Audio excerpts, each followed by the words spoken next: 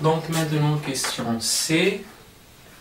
Donc, euh, on peut mettre delta W1 et delta W2 sous la forme delta W est égal à une certaine fonction de PVDV plus une autre certaine fonction de PVDP. Bon, delta W c'est f de PVDV plus g de PVDP. Retrouvez la réponse de B en comparant les dérivés df sur dp avec v constante et dg sur dv avec p constante pour chacune d'elles. Pour chacune c'est-à-dire pour delta W1 et delta W2. Donc, bien sûr, il est conseillé de voir la, la réponse de B pour comprendre ce qu'on fait.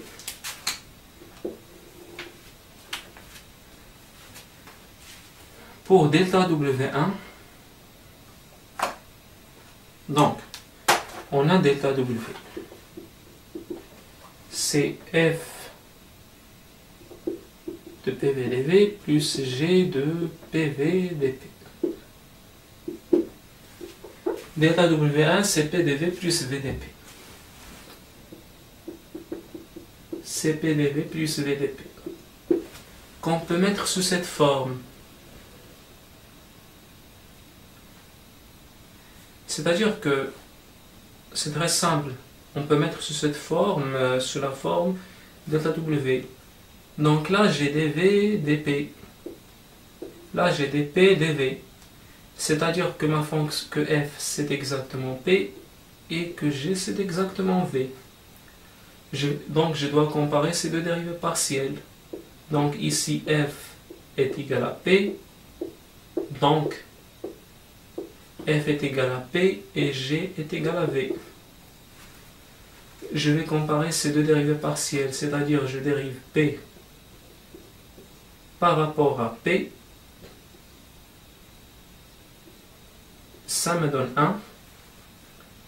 Et puis je dérive V par rapport à V. Ça me donne 1. Ces deux dérivées partielles sont égales. Donc, on trouve que df sur dp est égal à dg sur euh, dv. On trouve ça parce que FCP et GCV. Donc,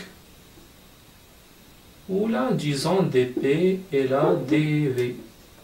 Donc, euh, delta W1 est une DTE. On a déjà expliqué pour une, pourquoi c'est une DTE. Parce que c'est une DTE. Si on a ça, si, ces deux dérivés partiels, sont égales, c'est-à-dire que je dérive P par rapport à ce qu'il n'y a pas devant P, qui est P, donc dP sur dP, et je dérive V par rapport à ce qu'il n'y a pas devant P, c'est-à-dire V, donc dV sur dV. Voilà. Donc est une DTE. On a trouvé la partie de la réponse qu'on a trouvée dans B. Maintenant, pour ce qui concerne delta W2. Donc, on a dit delta W c'est une fonction de PVDV plus une autre fonction de PVDP. De, mais qu'est-ce que je dis? Une autre fonction de PV fois DV. Une fonction de PV fois DV. Et je sais que delta W2 c'est moins PDV. Moins PDV. Plus 0 dP. Donc il est bien clair que cette fonction G c'est 0 et cette fonction F c'est P.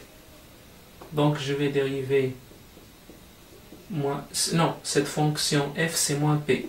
Donc je vais dériver moins p par rapport à, à, p. Ça me donne moins 1. Je fais sortir ce moins, voilà, voilà. Donc dp sur dp c'est 1, donc avec le moins c'est moins 1. Et puis je dérive le 0 par rapport à dv, ça me donne 0. Comme vous voyez, dp sur dp est, d, euh, d moins p, d moins, moins c'est moins, d moins p sur dp est différent de d0 sur dv. Alors delta, delta w2 n'est pas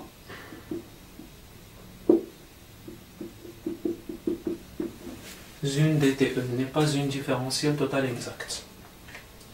Voilà, c'est très simple. Donc, comme vous voyez là, G moins PdV plus 0 dP.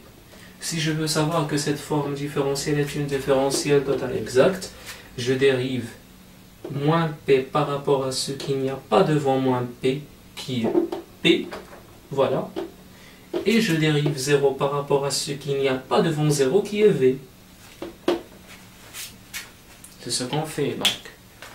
Voilà, c'est tout pour euh, cette question, cette avant-dernière question. Après, on va voir la dernière question.